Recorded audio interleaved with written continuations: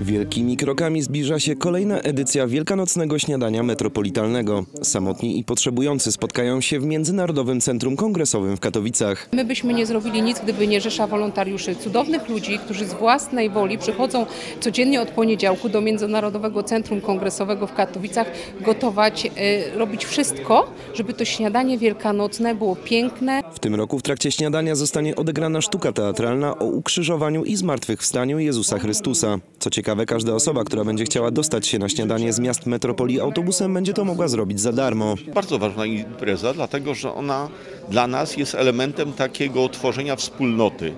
My jesteśmy niczym innym, każde miasto jest niczym innym jak pewną wspólnotą miejską i w tym przypadku zależy nam na tym, żeby ludzie, czyli członkowie tej wspólnoty nie byli samotni. Co więcej, samotni nie będą też mieszkańcy Kijowa i Lwowa, a dokładniej uchodźcy ze wschodu Ukrainy, których Fundacja Wolne Miejsce odwiedzi tydzień później w trakcie ich świąt wielkanocnych. Robiliśmy po Wigilii taki bożonarodzeniowy obiad w Lwowie 6 stycznia według czasu świąt ukraińskich. No jak się zaczęło robić Wigilię, to trzeba robić też Wielkanoc.